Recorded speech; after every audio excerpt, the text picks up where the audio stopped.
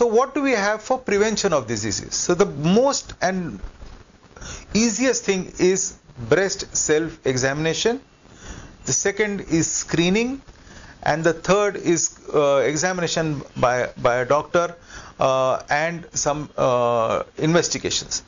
So the primary defense available to us is screening. So every lady should be taught breast self-examination. There are enough videos uh, on the net today on on how to do uh, breast self-examination. It should be done normally on the eighth or ninth day after the first day of the period, so that you keep the day the same. So the the uh, the texture or the feel of the breast remains the same nearly all the time. One should palpate with the flat of the hand and not with the uh, thumb and the forefinger because that will make every breast feel feel like a lump.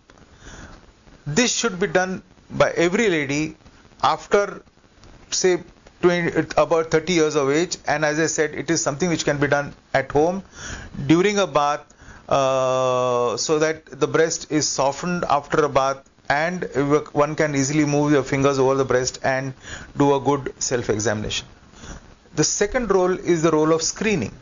So the screening sh has shown in India that ladies above uh, 55 years of age there is uh, impact in the screening, but the ladies below 55 there is no great impact in screening uh, shown by uh, a new trial which has come come from India.